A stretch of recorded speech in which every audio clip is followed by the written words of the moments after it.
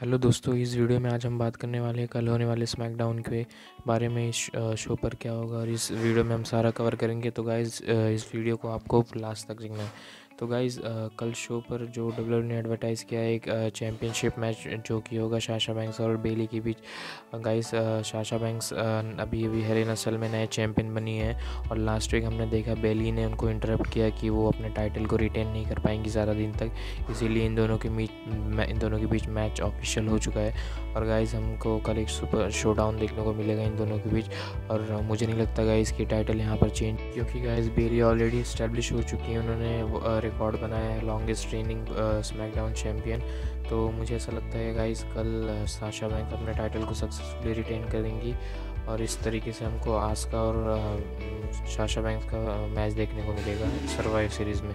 और बात कर रहे हैं सर्वाइवर सीरीज़ की तो कल गाइस न्यू हमको पता सर्वाइव सीरीज़ में न्यू डे और स्ट्रीट प्रॉफिट आमने सामने होंगे और गाइस कल स्मैकडाउन के लिए डब्ल्यू ने एक टाइटल मैच अनाउंस किया है, जो कि होगा Robert Roode dog Ziggler versus Street Profits for the championship guys कल हमको ये पता चलेगा कि स्ट्रीट प्रॉफिट कैसे न्यू डे को हराएँगे, उस बारे में भी एड्रेस करेंगे। तो काफ़ी कुछ डब्ल्यू ने एडवर्टाइज़ किया है तो हमको बस कल स्मैकडाउन होने तक का वेट करना है। नेक्स्ट गाइस हमको एक सेगमेंट देखने को मिलेगा सेमी जेन का जिन, जिनका मैच होने वाला है बॉबी लैजली से।